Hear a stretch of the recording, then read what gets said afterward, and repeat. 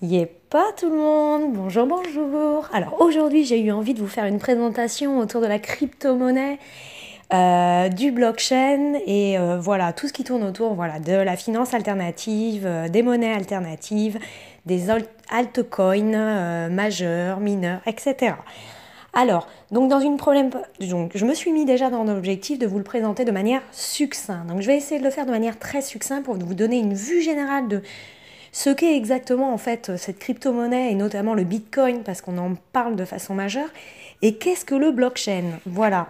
Alors, donc euh, en introduction, je, je, vais exposer les différentes problématiques autour de ça pour vous amener à mettre en place une réflexion autour de ce sujet parce que je n'ai pas la science infuse et l'objet de mes présentations est juste de mettre en place une réflexion, je vais dire, collective. Alors, me concernant, j'ai plusieurs problématiques. Je vais vous les citer en introduction. Alors la problématique, c'est OK, Bitcoin, blockchain, crypto-monnaie. Euh, ok, mais euh, quelles sont les problématiques autour de ce sujet? Alors en introduction, les problématiques euh, qui me viennent à l'esprit sont ok, quelle confiance adopter déjà autour de cette technologie? Point d'interrogation. Allons-nous rencontrer par ces technologies une vraie mutation autour de nos tiers de confiance? Les tiers de confiance, c'est les personnes par qui on passe. Et ces gens-là, faut les payer. Et normalement, ces gens-là, on les paye pourquoi? Pour gérer notre risque. Donc, est-ce qu'avec cette technologie blockchain, on va réduire nos tiers de confiance tout en augmentant la gestion de nos risques et en diminuant les coûts relatifs justement à ces tiers? Ça, ce serait une opportunité. Les risques, c'est lié à la sécurité. Comment est-ce qu'on maintient le même niveau de sécurité? Et comment on reste en accord avec la réglementation? Autre problématique autour de ce Bitcoin et de ce blockchain, c'est quelles seront les dimensions stratégiques de cet outil? Quel est l'effet répercussion avec effet domino? Vous allez voir que souvent on parle du domaine financier, mais cette technologie va emmener ce qu'on appelle une ruption, une disruption, c'est-à-dire une transformation de beaucoup, beaucoup de corps de métier. Et ça, je vous invite à aller euh, consulter mes autres castes parce que ça va amener des répercussions énormes, notamment bah, sur les métiers euh, liés à l'achat immobilier, les avocats, les notaires euh, et plein d'autres choses, le monde des assurances, la finance bien sûr, plein d'autres choses. Donc ça, je vous laisserai aller voir. Donc, autre problématique, sommes-nous à l'aube de nouveaux paradigmes par rapport à cette techno? Un paradigme qui va concerner notamment une nouvelle façon de penser, donc les modes de pensée, les modes de production, mais également les modes de consommation, et j'irais même voir même les modes de travail parce que euh, bah, cette innovation technologique, elle va également modifier vos façons de travailler et entraîner des mutations euh, autour de nos métiers, notamment traditionnels. Allez, autre problématique qu'on pourrait se poser, c'est quelles seront les mutations liées à l'usage de cette techno? Il y en a bien d'autres que les corps des métiers également.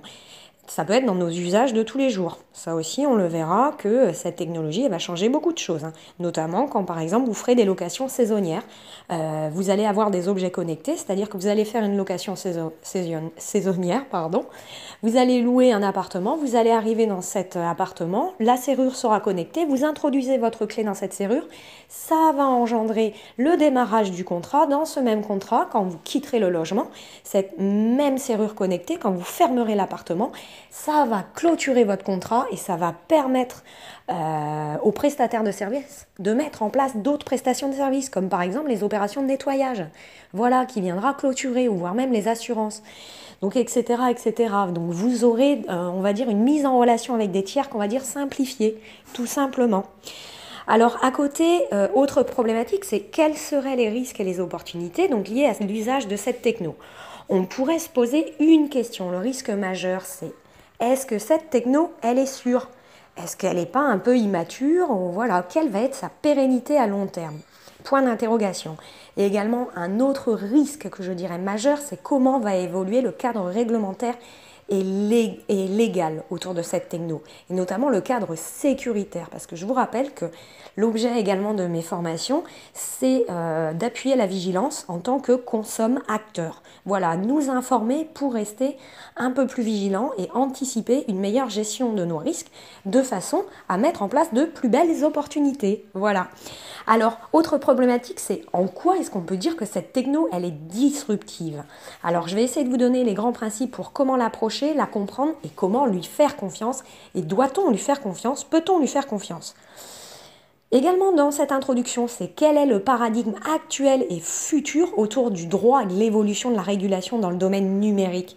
Là, on pourrait le voir de manière beaucoup plus large et je vous invite à aller consulter mes autres castes audio, notamment sur le domaine des mutations euh, autour du domaine numérique et également les répercussions de l'intelligence artificielle notamment. Autre problématique en opportunité, c'est cette techno en fait. C'est une opportunité ou un risque. Est-ce que cette techno, à terme, en fait, elle va pas permettre de remplacer l'humain par l'intelligence artificielle? Et ça, ça va nous demander de mettre en place une collaboration homme-machine. Donc l'avantage, c'est qu'effectivement, en opportunité, ça va réduire les erreurs humaines et donc également réduire les risques, notamment par exemple de corruption qui pourrait être liée aux humains, mais également euh, ben, euh, la, réduction des risques liés à des erreurs humaines euh, toutes bêtes, hein, parce que on est parfois surmené dans les tâches, on est débordé et ça, ça peut entraîner des omissions. Alors également le Bitcoin en fait, qu'est-ce que c'est? Bah, Le Bitcoin, c'est toujours dans les problématiques, il peut être considéré comme un comme une unité de compte, c'est-à-dire une monnaie qu'on va dire complémentaire, alternative, appelez-la comme vous voulez, virtuelle, électronique, digitale, numérique, une crypto virtuelle, une crypto-devise, une monnaie décentralisée, point d'interrogation. Est-ce que tous ces adjectifs qualificatifs peuvent définir le Bitcoin? Et enfin, voilà, le Bitcoin. Pourquoi? Pourquoi? Parce que historiquement, il est mis en place depuis très longtemps et on s'aperçoit que bah, le Bitcoin, c'est quand même, euh, je dirais, l'altcoin majeur. C'est la monnaie crypto majeure. On s'aperçoit qu'aujourd'hui, euh, son prix a dépassé l'once d'or, ce qui est quand même euh, incroyable. Donc en fait, on s'aperçoit que, et on se pose la question de savoir est-ce que en fait ce Bitcoin, il va pas devenir l'or numérique, une sorte de valeur refuge numérique. C'est-à-dire que notre or traditionnel, bah, c'est plutôt une valeur refuge, on va dire, pour les générations qui avaient l'habitude euh, des déplacements, on va dire, traditionnels. Puis on a les générations Y ou les digital natives, enfin les personnes un peu plus sensibilisées au monde du numérique qui commencent à déployer une forte curiosité pour euh, ce Bitcoin. Et notamment, on voit bien que euh, bah, la valeur du Bitcoin actuellement, elle repose sur quoi? Sur la confiance. Donc si la valeur du Bitcoin augmente, c'est qu'effectivement la confiance augmente. Par contre, il y a un autre point à noter, c'est que si vous regardez les cours, euh, les fluctuations en termes de volatilité autour du Bitcoin, on s'aperçoit que la volatilité est très forte, même s'il y a quand même un peu de liquidité qui augmente. On voit bien que c'est un peu moins volatile, mais ça reste quand même très très volatile. Donc la confiance est en train de se mettre en place. Allez, je vous invite à me suivre encore, on va continuer autour du Bitcoin. Donc dans une première partie, je vais vous définir le Bitcoin et dans une seconde partie, je vous définirai en fait qu'est-ce que le blockchain et puis dans une troisième partie, en quoi cette techno, elle est disruptive. Voilà. Donc maintenant, nous allons nous intéresser dans la première partie à qu'est-ce que le Bitcoin. Donc je l'ai dit, le Bitcoin, en fait, c'est une monnaie électronique et en fait, cette monnaie électronique, elle peut servir de moyen d'échange et de paiement. Alors il faut faire attention quand même, parce que le Bitcoin, il se distingue en quelque sorte des moyens de paiement scripturaux ou fiduciaires, c'est-à-dire nos moyens de paiement, on va dire, traditionnels. Alors, bit en anglais, c'est quoi? Ben, En fait, c'est euh, une unité d'information binaire, tout simplement. Donc c'est vraiment de l'information, c'est de l'échange d'informations. Et à bit, on a rajouté coin, c'est-à-dire pièce de monnaie. Donc c'est un, échange d'informations autour de la monnaie. Alors le Bitcoin, il est également défini comme une monnaie cryptographique et un système de paiement qu'on va dire peer-to-peer. Voilà, et ça, ça a été inventé par qui? Un certain monsieur très mystérieux et mystique qui s'appelle Satoshi Nakamoto. Voilà, et ce monsieur Satoshi Nakamoto, il aurait inventé le Bitcoin en 2008. Et en fait, il est à l'origine de la publication du logiciel open source en 2009. Et voilà pourquoi on parle beaucoup du Bitcoin, parce que le Bitcoin, en fait, il existe depuis 2008-2009. Et en fait, c'est quelque chose, une technologie, je dirais même plus qu'une monnaie, c'est une techno qui est pour l'instant enfin immuable, qui n'a pas été, euh, qui n'a pas pu être attaquée. Alors, maintenant, si on s'intéresse au blockchain, le blockchain, c'est quoi? Alors le blockchain, lui, c'est une technologie qu'on va dire, dire disruptive. Pourquoi disruptive? Parce qu'en fait, elle va amener une transformation dans de nombreuses domaines. Ça, je vous l'ai dit, les façons, façons de penser, la façon de produire, la façon de consommer, mais également, elle va changer nos modes de gouvernance, c'est-à-dire nos façons de diriger, et voire même peut-être notre gouvernance politique. Donc voilà, je vous laisse imaginer pourquoi euh, on peut euh, qualifier cette techno de disruptive. Alors, le blockchain. Donc c'est un protocole en fait sur lequel en fait s'appuie le Bitcoin ou encore blockchain en français, on appelle ça une chaîne de blocs. Donc le blockchain, en fait, c'est quoi? C'est un réseau qui est dit distribué et décentralisé. Alors pour vous aider un petit peu, actuellement notre système traditionnel, il est plutôt, on va dire, euh, centralisé, c'est-à-dire que tout gravite autour d'une gouvernance qu'on va dire unique. Donc on a des, un peu des monopoles qu'on pourrait dire monopoles de pouvoir ou des monopoles de tiers, etc. Donc c'était centralisé et là en fait on a un système qui éclate un petit peu et on a un monde qui va euh, plutôt vers la décentralisation. Alors, à côté de ça, il existe plusieurs types de blockchains. On va avoir des blockchains qui vont être dites publiques, c'est-à-dire ouvertes à tous, ou privées, c'est-à-dire euh, dont l'accès et l'utilisation en fait est limité à un certain nombre d'acteurs. Et le blockchain, lui, il repose sur une techno qu'on va dire de stockage et de transmission euh, d'informations. C'est complètement transparent. Et ça, ça fonctionne, comme je vous l'ai dit, sans organe central de contrôle. Et ça, c'est un point important qui est, mis, qui est mis en avant souvent euh, dans la description de cette techno. Alors, cette techno également, c'est quoi euh, ses opportunités et ses avantages? Vous, en verrez, vous le verrez si vous lisez quelques publications, on en parle souvent. C'est qu'en fait, son avantage, c'est la sécurisation. Et les risques et les opportunités, eh ben, je les ai abordés dans d'autres castes, donc je vous invite à aiguiser votre curiosité sur les autres castes pour essayer de comprendre quelle est ma vision du risque et des opportunités liées au blockchain. Voilà. Donc euh, pour moi, il y a une balance. Il y a également des risques et des opportunités parce qu'actuellement, je considère qu'on est un peu en bêta test sur ces technologies. C'est-à-dire qu'on a beaucoup de banques qui actuellement euh, les utilisent, donc des banques américaines euh, et autres. Donc ça, je vous dirais avec un peu plus, on va dire, d'expertise de, et de précision qu'est-ce que qu'est-ce que ces, consortiums, mais voilà, euh, ces technologies sont actuellement utilisées et en quelque sorte un peu en version bêta test. Alors je reviens parce que je m'égare comme d'habitude. J'ai dit que je faisais simple et court. Donc le Bitcoin, je vous l'ai dit, c'est une unité de compte qui a en fait la particularité, elle, d'être divisible. Si on regarde le Bitcoin, en fait, on a un stock de 21 millions d'unités qui sont en fait divisibles jusqu'à la huitième décimale. Voilà. Donc ça, c'est un point que j'aborderai et que je développerai euh, dans d'autres castes également. Alors, le Bitcoin, il repose sur la technologie blockchain. Et cette techno, elle opère comme un grand cahier de comptes ou encore un, espèce de grand registre de comptes qui est en fait infalsifiable et du coup sécurisé. Puisque toutes les transactions, en fait, elles vont être vérifiées par euh, ce qu'on appelle ce réseau euh, distribué. Et cette information, notamment ces transactions, elles sont réparties notamment par des nœuds du réseau et elles sont enregistrées après dans un registre public. Donc c'est-à-dire que quand vous voulez valider une transaction, eh bien vous avez des nœuds de réseau un peu partout au niveau international qui vont venir valider votre opération. D'où pourquoi elle est infalsifiable, parce que quelque part, vous, vous en apercevez pas de ça. La transaction, elle est passée de manière très rapide. Et à côté de ça, la sécurisation, elle, elle est quand même mise en place. Donc ça, c'est un avantage qui est indéniable. Alors ce système, en fait, il a la, particularité, comme je vous ai dit, de fonctionner sans autorité centrale, donc sans administrateur, ou encore sans gouvernance, ou encore sans euh, autorité donc centrale humaine supervisée. Donc là, forcément, on a la possibilité de réduire les erreurs humaines, donc on enlève quelques tiers. Donc ce système, il a la particularité, je vous l'ai dit, de fonctionner euh, sans administrateur unique grâce en fait à un, ensemble de, euh, consensus au niveau de bah, tous ces nœuds du réseau. Ça, ça augmente la sécurisation. Alors, si j'amène maintenant une petite remarque euh, et on revient un peu au Bitcoin, c'est quand même, on remarque qu'en 2017, le Bitcoin, il atteint quand même une capitalisation qui est supérieure à 27 milliards d'euros, ce qui est quand même énorme euh, si vous regardez les autres capitalisations. Alors les prix des crypto-monnaies, comme je vous ai dit, elle est notamment fixée par euh, ce qu'on va appeler en fait des places de marché et ça fluctue forcément comme euh, dans l'objet d'autres places de marché, en fonction de l'offre et de la demande. Et quelque part, l'offre et la demande, elle est basée sur quoi? Bah, Elle est basée sur la confiance et l'adoption, justement. Donc quelque part, c'est nous qui orientons l'usage. Et c'est nous qui le décidons, décidons indirectement de par notre utilisation. Alors en quoi cette techno, elle est disruptive? On va revenir dessus.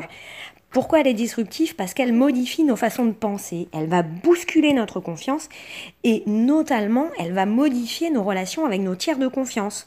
Alors si on associe euh, le blockchain et Internet, c'est quoi? Bah, Ça, ça nous donne une opportunité énorme qui est de mettre en place euh, un réseau ouvert. Et ça, ça va nous donner la possibilité de remplacer l'humain par quoi? Ben, Par de l'intelligence artificielle quelque part. Parce que ce blockchain, euh, au fond, il repose sur des algorithmes. Et ça, c'est incroyable. Donc, euh, actuellement, comme je vous ai dit, on est en bêta-test. Et la phase d'adoption, elle est liée à la confiance. Et cette confiance, elle s'installe autour de quoi? Ben, Par exemple, quand on a euh, des scandales comme MTGOX ou d'autres scandales, bah ça, ça impute forcément la confiance. Donc il y a une diminution de la confiance. Vous pourrez remarquer qu'en 2014, le cours du Bitcoin a été énormément affecté et on remarque que les, les coins majeurs ou mineurs ont également subi les répercussions. Donc la confiance, euh, elle passe aussi par tout ce qui est euh, médiatisation. Donc je vous ai dit, nous sommes à un nouveau paradigme autour de la confiance numérique basé sur l'adoption. Donc c'est la différence entre, je dirais, les digitales natives, les générations euh, Y ou les générations non sensibles à l'usage euh, des numériques.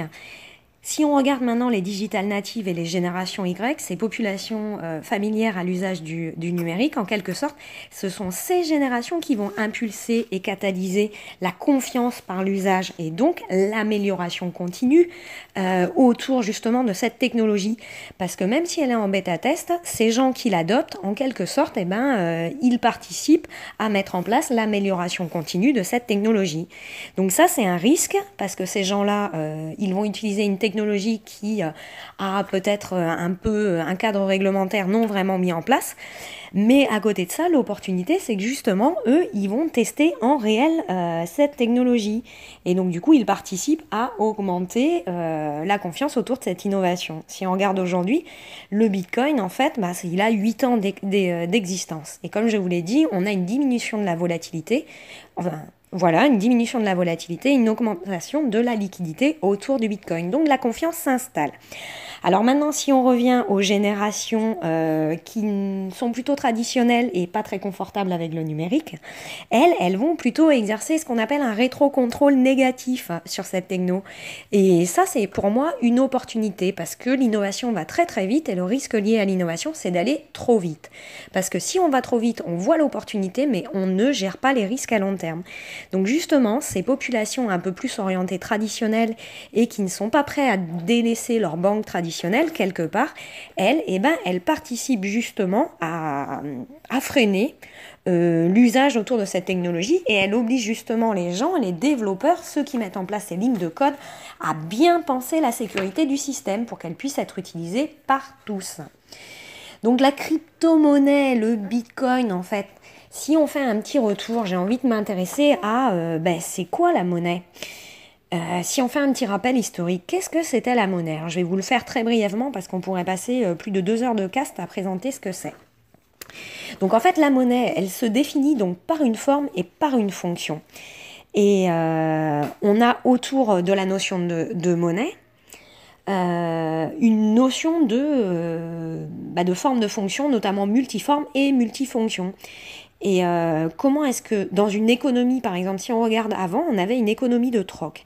Alors une économie de troc, c'est quoi? On entend l'échange de biens, de produits, voire même de services, en fait, contre un autre.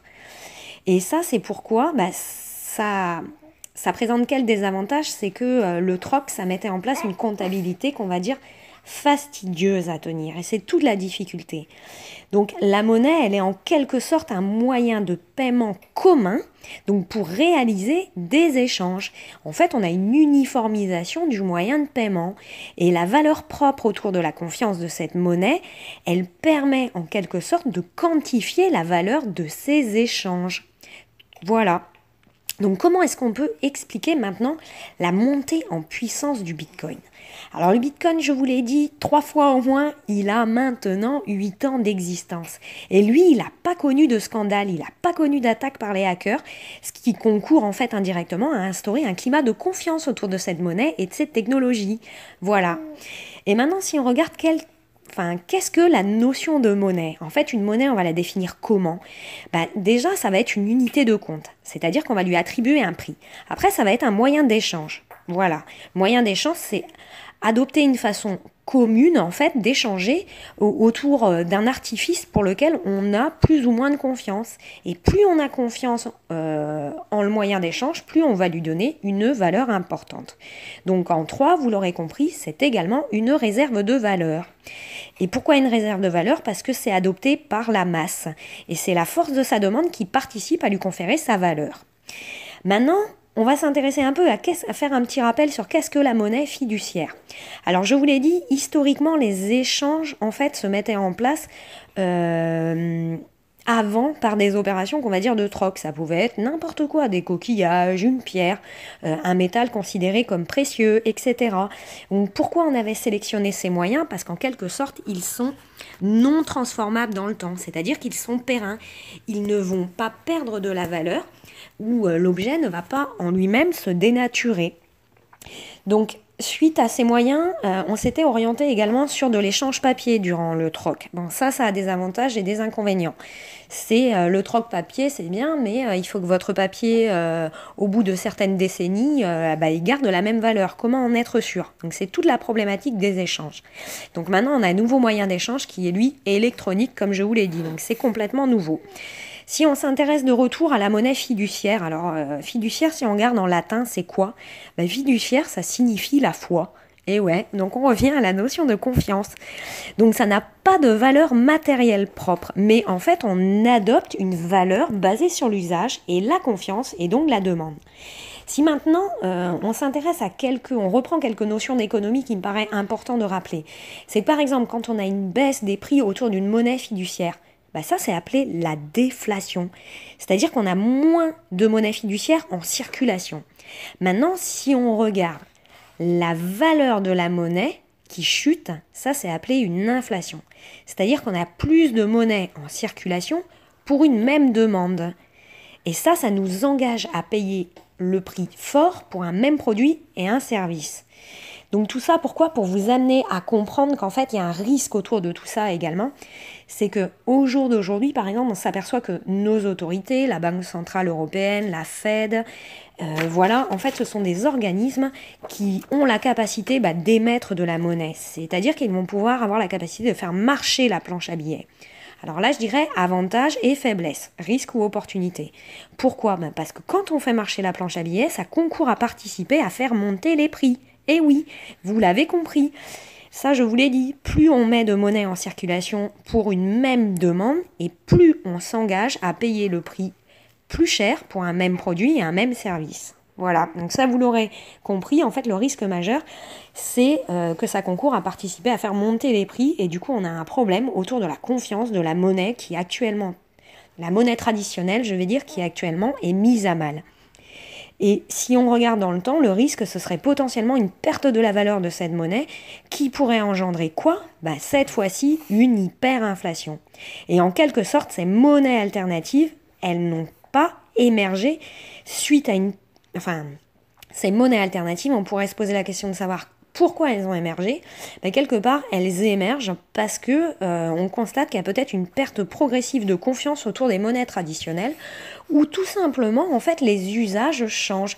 Puisqu'on voit bien que les gens par exemple euh, travaillent dans différents pays ont besoin de faire des transferts d'argent euh, transfrontaliers et forcément bah, avec ces monnaies c'est peut-être un peu plus facile. Et puis on a des choses également euh, qui se mettent en place. C'est que voilà il y a une perte de, de confiance également au niveau des gouvernances actuellement centralisées et notamment au niveau de la confiance qu'on accordait à nos tiers parce que faire confiance à des tiers peut parfois également coûter très cher. Donc on voit que les gens ont euh, euh, envie tout simplement de maîtriser euh, leurs finances également par eux-mêmes et bah, d'être capables de passer des transactions par eux-mêmes. Donc ça peut permettre euh, d'avoir l'opportunité d'apporter quelques euh, intérêts au niveau de l'indépendance. Mais je vais conclure maintenant et j'ai envie de conclure sur un risque majeur à mon sens autour du blockchain, du bitcoin et de toutes ces altes-monnaies ou ces crypto-monnaies. C'est le risque majeur LCBFT, la lutte contre le blanchiment, la fraude et le terrorisme. Puisque vous avez tous entendu parler ou peut-être pas, mais je vous invite à aller vous documenter autour du Darknet. Qu'est-ce que le Darknet justement? Et qu'est-ce que le LCBFT Donc voilà, il faut faire attention parce que euh, là où l'État et la régulation n'est pas, il y a des risques majeurs et certains pourraient détourner justement les usages de cette technologie sur des choses qui ne sont pas complètement licites et encadrées par la réglementation. Et moi, je vous demanderais de rester très très vigilant quant à ces usages. Voilà. Alors, j'ai fait d'autres présentations et d'autres castes euh, en ce qui concerne le LCBFT, donc la lutte contre le blanchiment, la fraude et le terrorisme. Je vous invite aussi à faire attention un petit peu à qu'est-ce que le fin, les déclarations de fin notamment, et également à aller vous renseigner justement si vous utilisez des plateformes autour justement de l'usage de cette crypto-monnaie, à est-ce que ma plateforme est agréée, réglementée, et est-ce que je vais trouver son numéro d'enregistrement dans ce qu'on appelle une liste Regafi. Voilà, donc là aussi, j'ai fait d'autres présentations et je vous explique un peu qu'est-ce que euh, tous ces listes Regafi et qu'est-ce que tous ces bonnes pratiques euh, en termes d'observation à mettre en place pour justement être sûr que ben, vous, vous ne preniez pas de risques parce que parfois on peut prendre des risques sans le savoir. Et je vous mets en alerte parce que de nombreuses personnes, par exemple, avec les nombreux scandales qu'il y a pu avoir, donc vous avez eu MTGOX, vous avez eu également l'attaque de la DAO, euh, voilà, et plein d'autres scandales, et vous vous retrouvez face euh, à des personnes qui parfois ont perdu énormément d'argent. Et j'ai envie de vous dire attention également euh, aux devises euh, traditionnelles et aux plateformes d'échange de Forex. Restez vigilants, ils doivent avoir un numéro d'enregistrement de type ORIAS. Voilà, J'espère que je vous aurai euh, voilà, appris quelque chose, aiguisé peut-être votre curiosité et que suite à ça, voilà, vous allez avoir envie euh, d'effectuer un peu plus de recherche sur Internet pour vous assurer que vous ne preniez pas de risques. Je vous dis pas à bientôt et puis ben, prenez soin de vous et puis au plaisir de vous retrouver sur d'autres présentations. pas à bientôt